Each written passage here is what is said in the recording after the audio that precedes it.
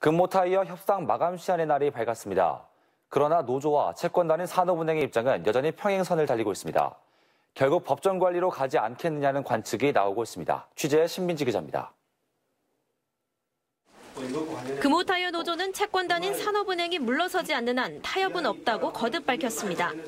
산업은행이 그동안 중국 더블스타와의 매각을 전제로 협상을 진행하는 바람에 국내 기업이 나서지 못하고 있다고 주장했습니다. 노조는 국내 기업의 자유 참여를 보장하는 공개 매각 방식으로 바꿔줄 것을 요구했습니다. 자본 참여로 통해서 금호타의 문제에 어, 인수의 의지가 있는 것도 직접 확인된 것도 있고요. 국내 기업을 포함한 매각의 전반적인 것들이 공정하고 투명하게 진행되는 것이 노동조합이 원하는 거고 산업은행이 거기에 대해서 답을 해주길 바랍니다. 인수하겠다거나 투자를 하겠다는 국내 기업이 있는 마당에 법정 관리로 갈 수는 없다는 주장입니다. 이후에라도 그러한 압박과 부담감을 떨치고 발표를 해주기를 바라고 있습니다. 또한 저희들도 그러한 관련해서 노력을 하겠습니다. 그러나 산업은행은 더블스타로의 해외 매각 외엔 대안이 없다는 입장이 확고합니다.